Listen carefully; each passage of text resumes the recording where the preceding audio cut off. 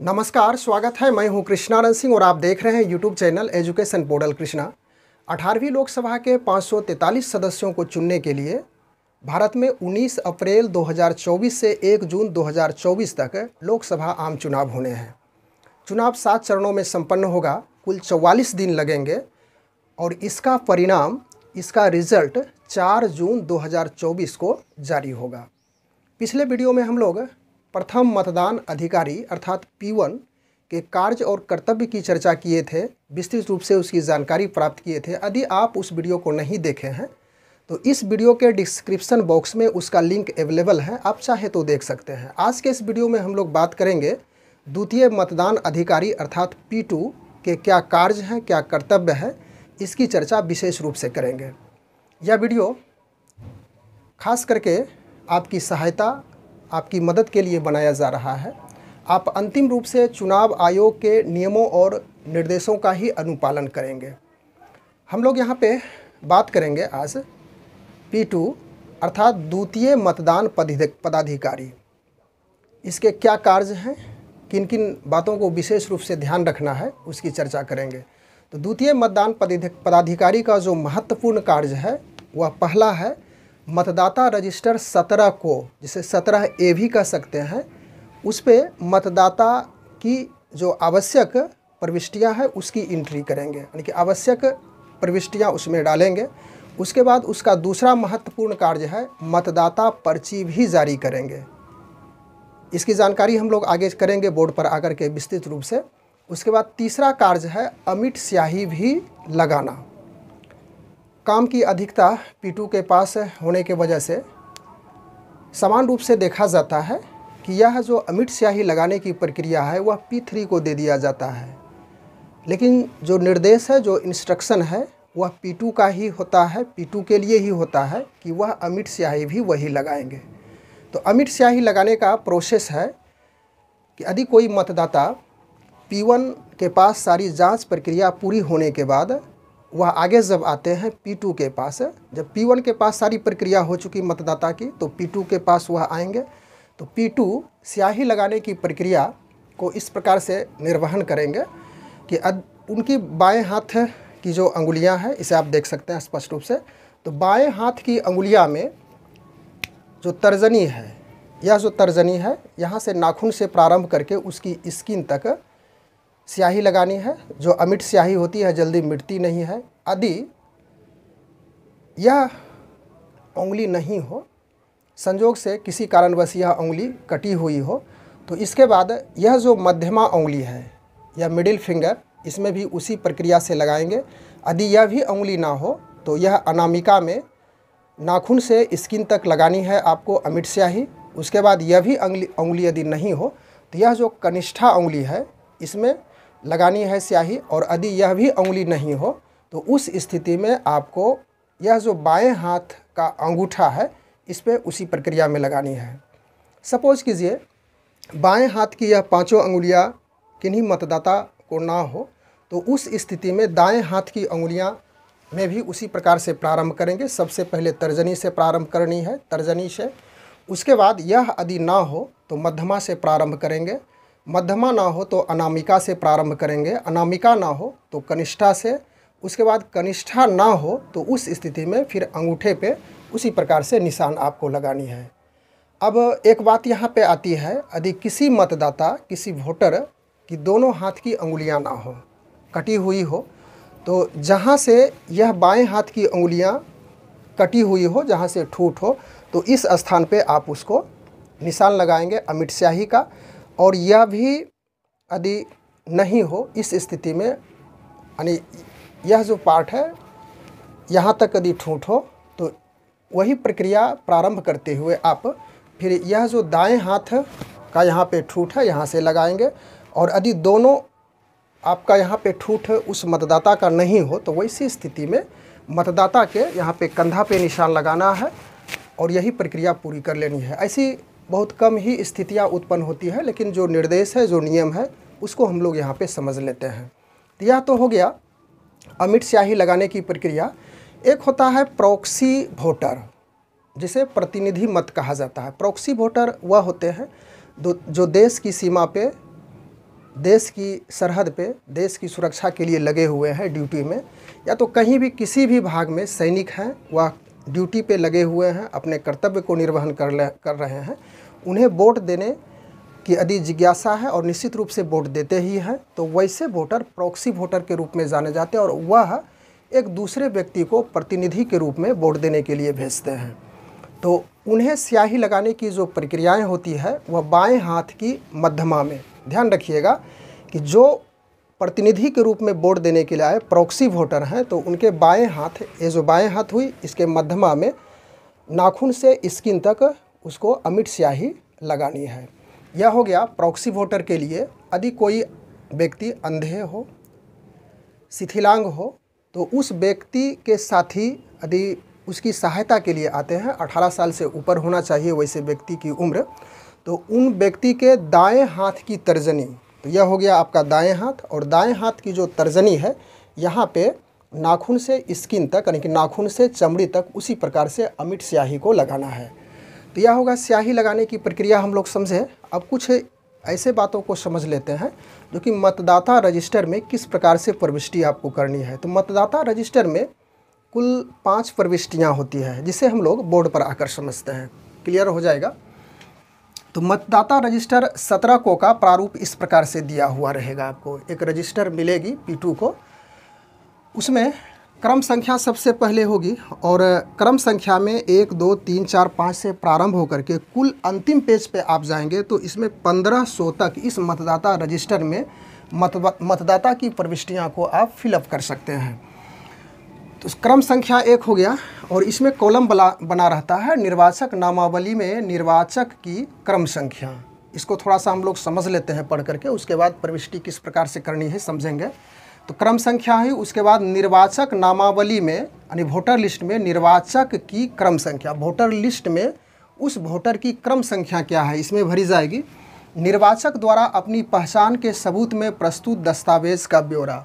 पहचान के रूप में P1 के पास जब वह पहचान करा करके P2 के पास आएगा तो वहीं पे आपको विशेष ध्यान रखनी है कि वह जो P1 है, वह ज़ोर से बोलेंगे, क्योंकि पोलिंग एजेंट जहाँ पे उपस्थित है, उन उन तक भी आवाज़ जानी चाहिए और उसी क्रम में आपको सेंसिटिव रहना है, कान को P1 की ओर रखना है और सुनना है कि वह क्या नाम बोले तो उस स्थिति में आपको यह काम आसान पड़ जाएगा।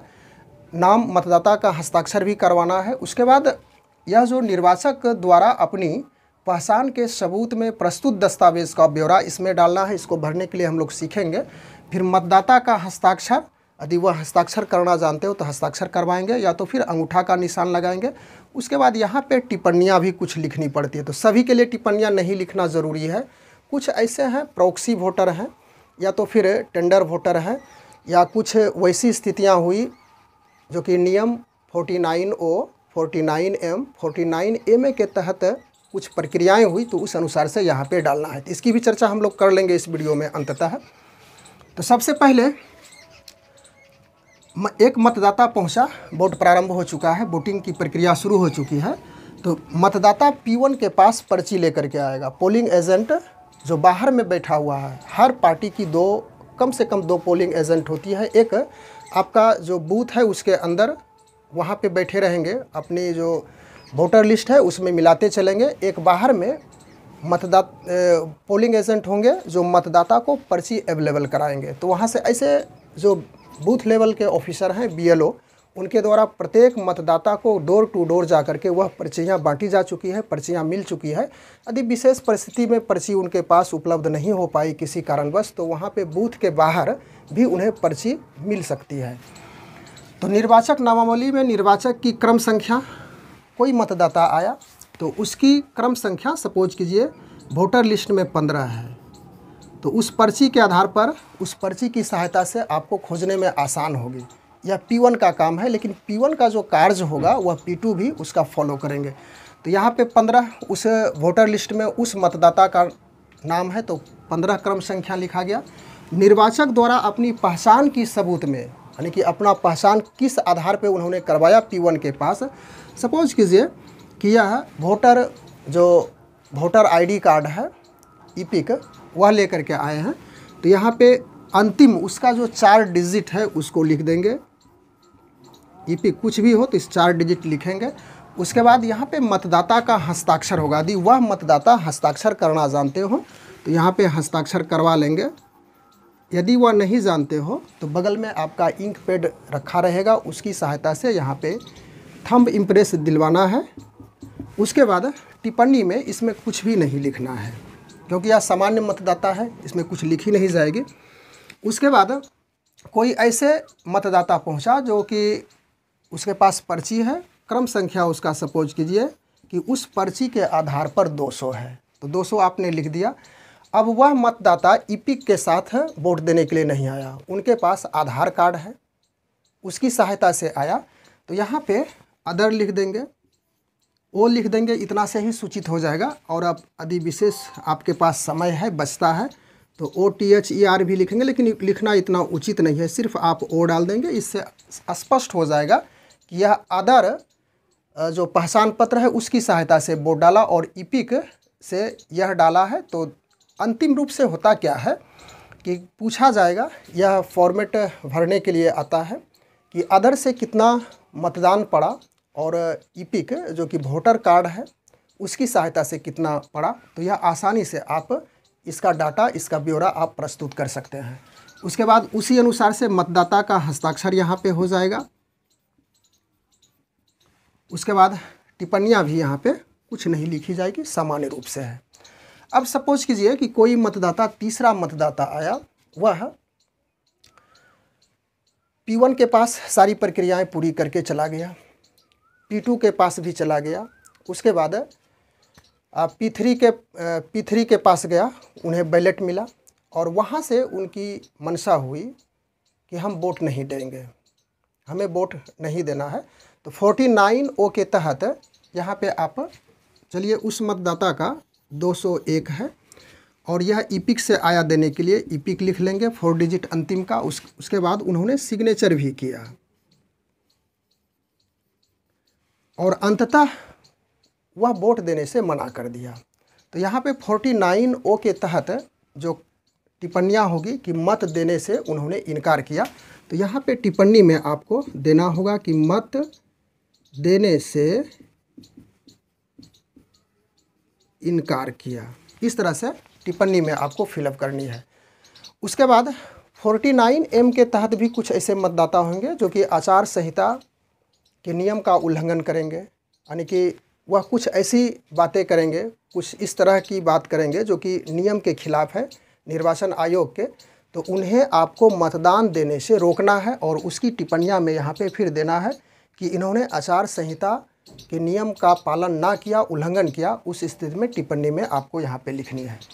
तो इस प्रकार से एक सौ एक हज़ार पाँच सौ यानी कि पंद्रह सौ मतदाता का आप इस मतदाता रजिस्टर में एंट्री कर सकते हैं।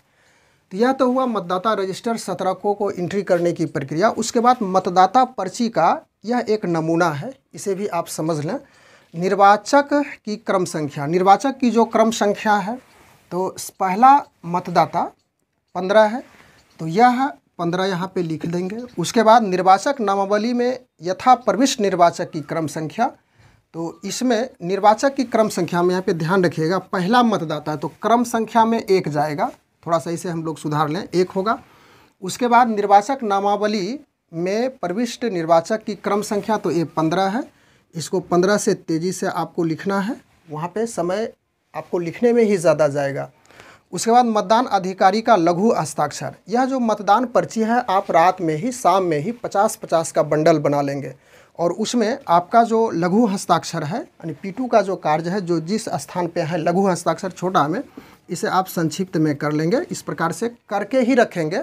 और विशेष रूप से आपको निर्वाचक की क्रम संख्या, निर्वाचक नामावली में यथा प्रविष्ट निर्वाचक की क्रम संख्या, यही दो ही बातें लिखनी है। और यह चीज़ पी थ्री के पास जा कर के कलेक्ट होगा। तो मुख्य रूप से जो पी टू अर्थात द्वितीय मतदान पदाधिकारी हैं, उनका यही कार्य है और इस कार्य को करते करते वे दो तीन मतदाता यानी दो तीन वोटर जब वोट देंगे तो आपकी जो गति है, आपका जो स्पीड है, वह बढ़ जाएगी और बढ़ने के क्रम में आप फिर इससे अभ्यस्त हो जाएँगे और यही काम आपके लिए आसान लगने लगेगा। बस आज के वीडियो में हम लोग इतनी ही चर्चा करने के लिए उपस्थित हुए थे। मिलते हैं अगले वीडियो में एक नए टॉपिक के साथ। तब तक के लिए धन्यवाद।